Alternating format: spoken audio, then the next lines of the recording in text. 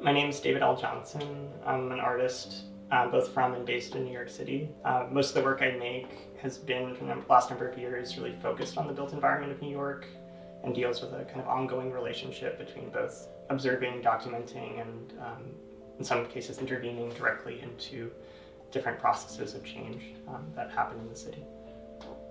I've been living in this apartment um, for my entire life. My family originally moved here in the 70s, and through rent stabilization laws and tenant protection rights, they were able to continue to live here, um, even as the neighborhood otherwise would have priced them out. And it's under those same protections that I've continued to be able to live and work here, um, both as an artist, but also as a, as a person.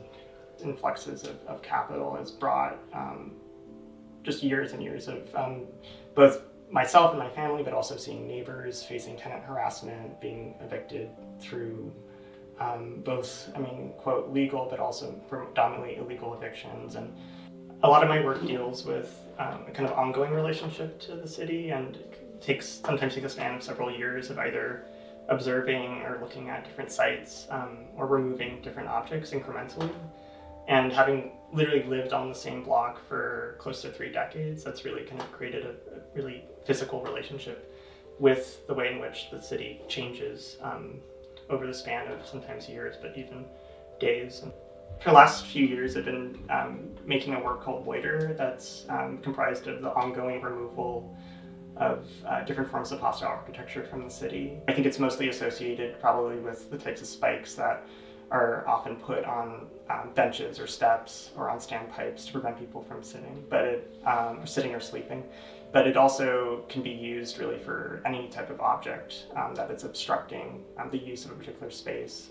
And the, they're works that, when they're exhibited, they show up um, kind of in the form of sculptures um, that either hang on the wall or on the floor, usually at the level or roughly at the level that they were installed initially on the street.